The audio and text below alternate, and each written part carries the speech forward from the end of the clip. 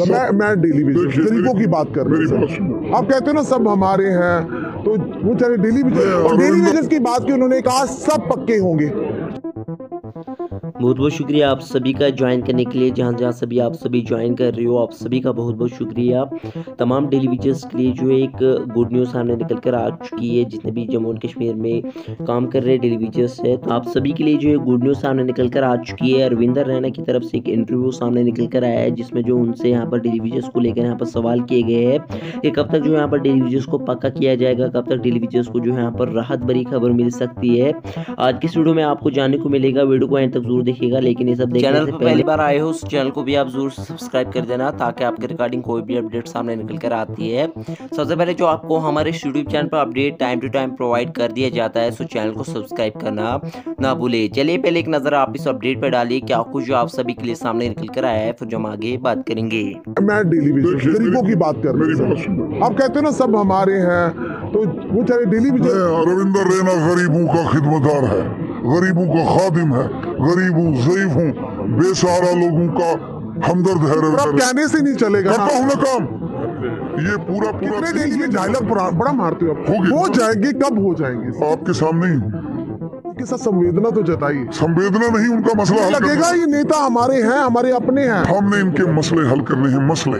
एक एक करके सब मसले हल कर आ रही है। कि फायर एंड इमरजेंसी सर्विसेज़ जल्दी उसका भी भांडा फूटने वाला है। बड़े सारे चेहरे चाहिए। उठना ही चाहिए। जो बोल बच्चे आपके पास जो भ्रष्टाचार करेगा वो जेल की सलाखों में बंद होगा। अगर किसी ने भ्रष्टाचार किया है बचेगा। कहने से थोड़ी ना सर। ऐलान कर दो। यानी शामत आने वाली उनकी। ऐलान कर दो। कर दो। कि भ्रष्टाचारी अब कोई नहीं बचेगा। ये ऐलान आप कर रहे हैं? रविंदर राणा जी कर रहे हैं ऐलान। रविंदर राणा जी अब ये भी कहिए ना ऐलान कर दो कोई डेली वेजर कच्चा नहीं रहेगा। वो भी होगा।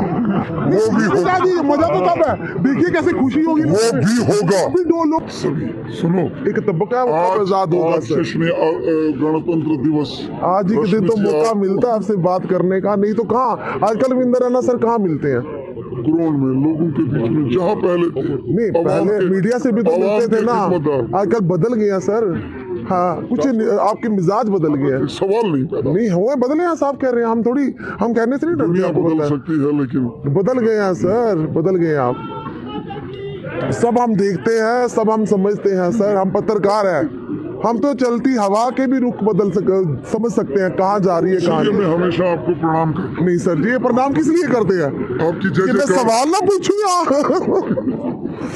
कब एक तबका आखिर कब आज़ाद होगा? मैं मैं डेली बेसिस गरीबों की बात कर रही हैं आप कहते हो ना सब हमारे हैं तो वो चाहे डेली बेसिस रविंदर रैना गरीबों का खिदमतगार है गरीबों का खादिम है गरीब हूँ जयीफ हूँ बेसहारा लोगों का हमदर्द है रविंदर। कहने से नहीं चलेगा करता हूँ ना काम। ये पूरा पूरा डेली वेजर पक्के किए? ये भी हो जाएगी। नहीं ये डायलॉग बड़ा, मारते हो आप। हो जाएँगे कब हो जाएँगे? आपके सामने हूँ। सर कम से कम आप जाना तो ये नज़ारा भी आप देखिए ठंड में गर्मी में बैठे हुए हैं। आप आप कभी जाकर उनके साथ संवेदना तो जताइए संवेदना नहीं उनका मसला लगेगा ये नेता हमारे हैं हमारे अपने हैं। हमने इनके मसले हल करने हैं मसले। एक एक करके सब मसले हल कर रहा हूँ ये भी होंगे। हर मसला हल होगा। सूत्रों के आधार पर एक खबर आ रही है कि फायर एंड इमरजेंसी सर्विसेज़ जल्दी उसका भी भांडा फूटने वाला है। बड़े सारे चेहरे चाहिए। उठना ही चाहिए। जो बोल बच्चे आपके पास जो भ्रष्टाचार करेगा वो जेल में जाएगा। जो गरीबों का आम लोगों का हक खाएगा वो जेल की सलाखों में बंद होगा।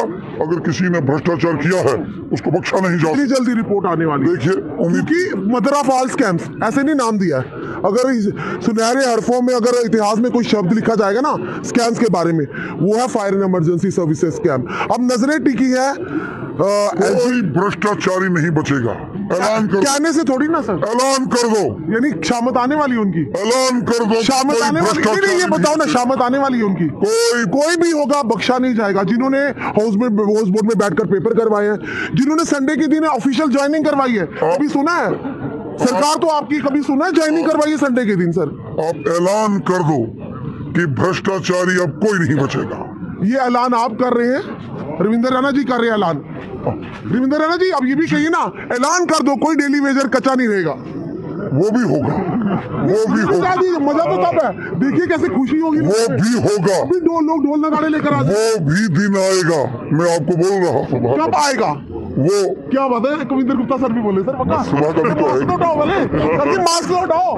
पूरी बात तो समझ आए।